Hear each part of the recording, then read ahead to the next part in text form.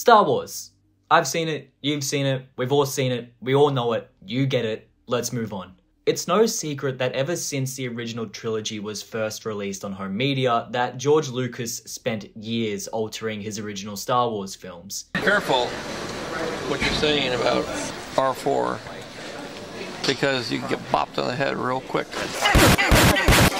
There were lots of changes, some minor, some major, some good, some bad. In terms of the original VHS releases, the trilogy was mostly left alone apart from some minor changes like adding the 4, 5 and 6 along with each film's respective subtitle before the opening crawl. The real shenanigans started when George Lucas released the special edition of the original trilogy in theaters in 1997 where audiences were treated to severely altered versions of each movie. A New Hope is the most dramatically different film in the trilogy being treated to a number of new visual effects and some audio fixes. Most of these changes, in my opinion, improve the film rather than take away from it. But then you get moments like the infamous Han shot first scene that to this day still causes outrage. Empire is more subtle with its changes, choosing to enhance elements in scenes rather than adding new elements entirely. Then to cap it all off, Return of the Jedi got a musical number.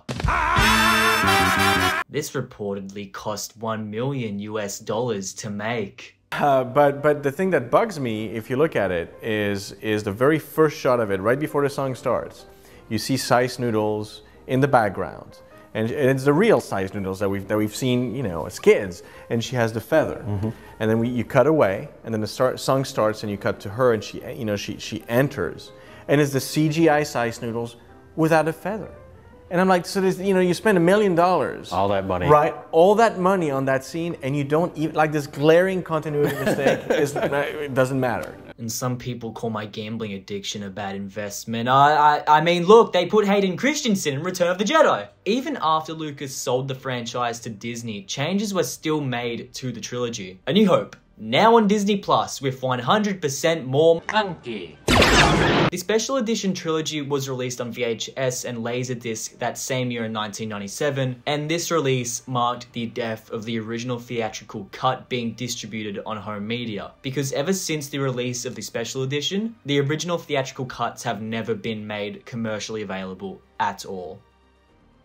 At least that's what I used to believe. So one day I found myself watching some old Red Letter Media videos when in one of them they brought up the fact that the 1995 VHS and Laserdisc releases of the original trilogy were the last time that the original theatrical versions were released on those home media formats. Despite the fact I do not own a VHS player, I thought it would be a neat idea to at least own copies of the quote unquote original theatrical version of the trilogy. So, of course, I went straight to eBay to begin my search for the VHS tapes that contained the theatrical versions of Star Wars. After my search, I ended up with these.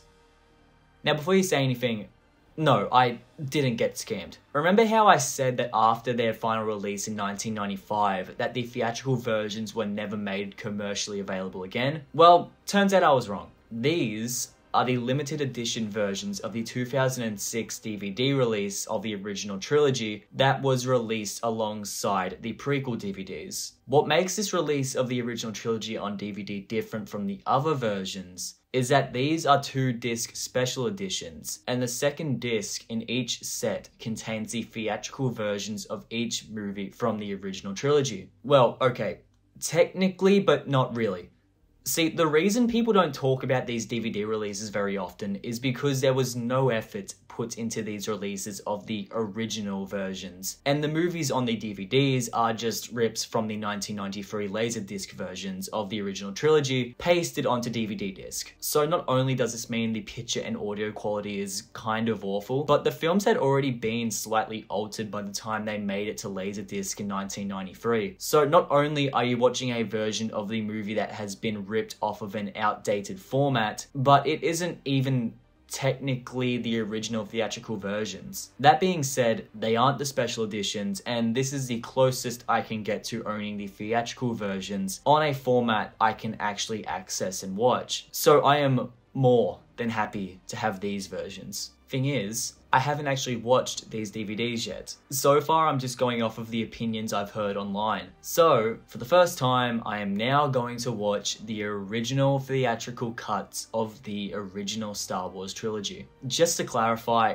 I grew up watching the 2006 DVD release of the original trilogy, so the version of Star Wars I know and love are the special editions. But for years now, my go-to method of watching Star Wars has been the 2011 Blu-ray release. Recently, I've picked up the entire saga on 4K Blu-ray from episode 1 all the way to episode 9, but I haven't actually sat down to watch those versions yet. If I had to guess, those are going to be my go-to way of watching Star Wars from now on, unless these theatrical cuts turn out to be the second coming of Christ. Anyways, only time will tell. For now, I'm going to just enjoy finally watching the theatrical versions of Star Wars. Be back in a bit.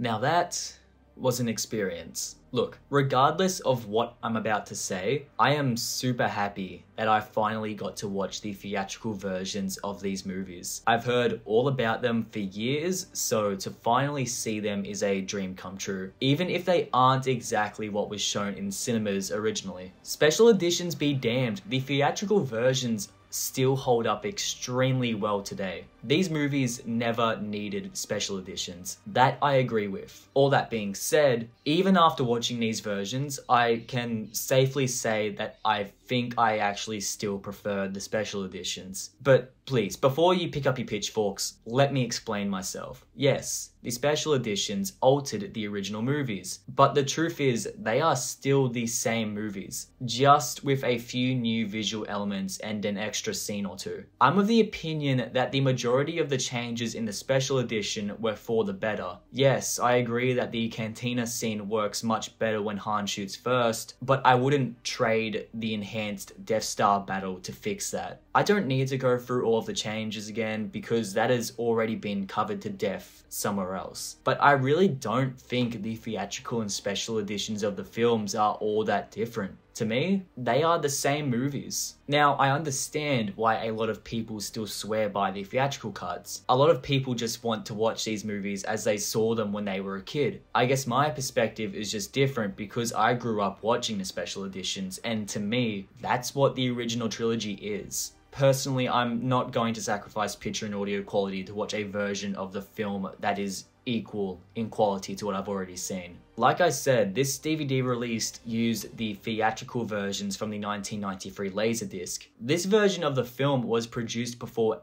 any visual or audio enhancements were made to the films. So ripping these straight onto a DVD obviously results in a serviceable but ultimately flawed viewing experience. The films are also letter and pillar box on these releases, meaning the picture on the TV screen is tiny. Fortunately, after I tweaked my TV settings, I managed to get the picture looking like this, which was more than watchable for me. To be concise, I would take the 4K Blu-ray release of the special editions over these limited edition DVDs of the theatrical cuts any day. I wish I had more to say about the theatrical cuts, but the experience I had watching them was pretty much the same as watching the special editions. I mean, it was something I've always wanted to do, and I feel like a more true Star Wars fan after doing so. But I think I've discovered after this experience that the special editions are my Star Wars movies. I'm not saying they are better or worse than the original versions, but they are the versions that I prefer to watch. Fortunately, nowadays there is a plethora of fan-made projects that make it easier than ever to watch the original theatrical versions. Some of these projects are even closer to the theatrical versions than what are on these DVDs.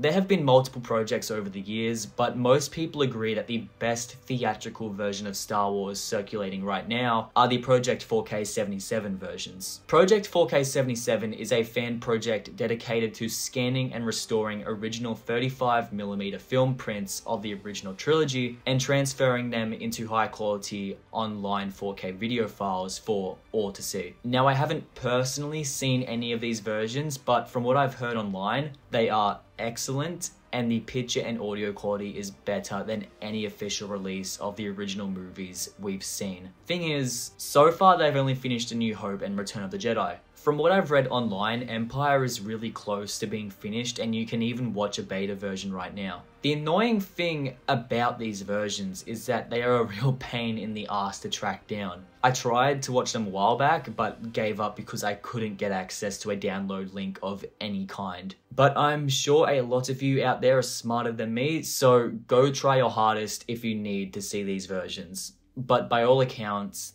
the Project 4K 77 versions of these movies are the best way to watch them. Honestly, I'm surprised that Disney still hasn't released the theatrical versions of the original trilogy in any capacity whatsoever. As far as we know, they have the rights to do so, and being the money hungry grubs they are, releasing the theatrical versions of Star Wars on Blu ray would be about as close as they can get to literally printing money. I wouldn't rule out them doing it one day, but for now, I don't expect to see anything like it anytime soon. Well, I've done it. I've finally seen the theatrical versions of Star Wars, and I feel the exact same. Damn, I thought watching these movies was meant to elevate me to a higher plane or something. Guess not. In conclusion, I would still totally recommend watching the theatrical versions of Star Wars at least once, if anything, just to see how filmmaking has evolved since the original trilogy was first released in cinemas. If you want these DVDs for yourself, I got mine off of eBay very easily and for a very cheap price. I'm assuming it's the same deal everywhere else, so if you want to get these versions, you can get them quite easily. Of course, if you are a more dedicated fan, you can go and track down a version of 4K 77 for yourself. That's personally what I would recommend. But I'm too lazy to do it myself, so if somebody else could do it and send me the links, that would be great. But at the end of the day, Star Wars is Star Wars. Every version has its strengths and weaknesses, and after my experience with both versions, I can easily say that you should just watch whatever version you enjoy the most. Star Wars fans are already divided enough. Let's not argue over which version of the movie everybody should watch. Although, before I go, I just want to say, Han shot first.